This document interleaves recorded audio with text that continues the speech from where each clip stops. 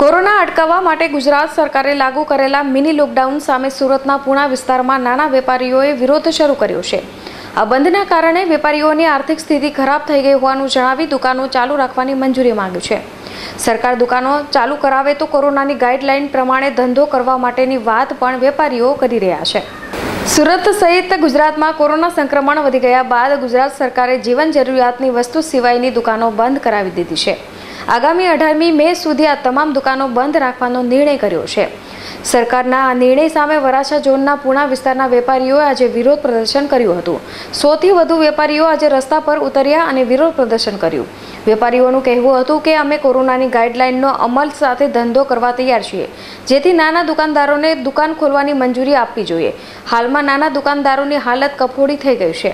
દુકાન બંધ રહેતા પરિવારજનોનું ગુજરાન પણ ચલાવવું મુશ્કેલ બની ગયું છે. નાના દુકાનદારોની આર્થિક સ્થિતિ બગડી હોવાથી બાળકોની ફી, દુકાનનું ભાડું, પાલિકાનો ટેક્સ, લાઇટ બિલ તથા અન્ય ખર્ચ ચલાવવો પણ મુશ્કેલ બની ગયા છે. સરકાર નાના વેપારીઓને દુકાન ચાલુ રાખવાની છૂટ આપે તેવી માંગણી વેપારીઓ કરી છે. અત્યારે જે આ કોરોનાની મહામારી ચાલી રહી છે, એમની અંદર જે આ દુકાનો બંધ રાખવા માટે આવી છે અને જે હીરાના કારખાના બધું ચાલુ છે, તો આ કઈ રીતનો કોરોના છે?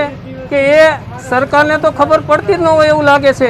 કેમ કે અત્યારે જે લોકો એક એક બબે જણા હોય છે, એમનું બધું બંધ કરાવવામાં આવ્યું છે.